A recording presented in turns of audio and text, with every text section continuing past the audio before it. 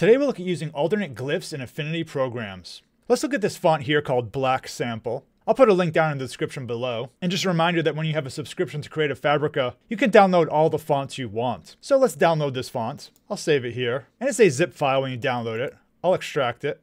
And I'll install it. I'll install the OTF version. I'll double click on this. I'll click install. And now it's installed. Now I'm here in Affinity Designer. Let's see if we can replicate the text in the thumbnail here. I'll use the artistic text tool. I'll click this here. I'll type black. Then I'll type sample. And let's change the font of them. I have it selected here. I'll go here. And I'll select black sample. Now we can see it doesn't quite look like the thumbnail image here. For example, the K is much more stylistic in the thumbnail. And same thing with the L and the E on the end here. Also, the B and the S also look different over here.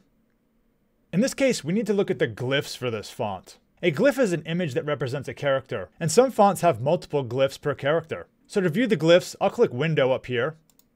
I'll select Text, and then I'll select the glyph browser. So I'll click this. And if it's not already selected, make sure you've selected your font over here in the dropdown. So it's Black Sample. Now if I scroll through, I can see all the different glyphs that are supported here. As I scroll towards the bottom, you can see many stylized versions of the same letter.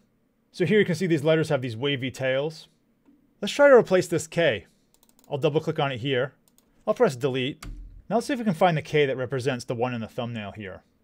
They're not always going to be in alphabetical order, so sometimes you have to look around a little bit. And it looks like this one here. So I'll double click on it. And it's added to my design. Let's do the same thing with the B. I'll click in front of the B. I'll delete it. And this looks like the B in the thumbnail here. Let's click on this.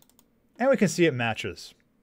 Now sometimes when you use alternate glyphs, it won't recognize the spelling here. You can just ignore it. I'll double click on this. I'll right click. And I'll say ignore spelling. Let's fix our bottom word here. Let's delete the S. And let's find the one it looks like. I think it's this one here. Let's click on that. And it matches. We can replace the L. Looks like this one here.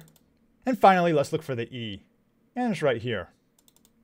So by using the glyph browser, you can change the way the characters look. And by the way, on a fonts page in Creative Fabrica, you can also preview the glyphs. So I'm here on the black sample page. If I scroll down, you can see there's this button here that says View All Glyphs. I'll click on that.